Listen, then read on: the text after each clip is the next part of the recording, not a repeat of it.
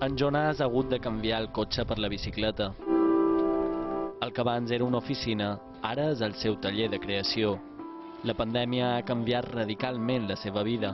Era directiu d'una multinacional dedicada al turisme i ara es dedica a la pintura. Ahora la empresa no existe. Estoy más tranquilo, de verdad. Antes tenía un puesto de directivo en una empresa de turismo grande y, y semanas con 70, 80 horas a veces. Y ahora estoy, estoy pintando y es algo totalmente diferente, pero es algo que me gusta mucho. Durant el confinament va trobar en l'art la pau mental, la calma, i n'ha fet el seu ofici. Ara pensa que els doblers no són el més important i vol utilitzar el seu art per ajudar. Col·labora amb SOS Turisme i SOS Mamàs, venent còpies limitades de les seves obres.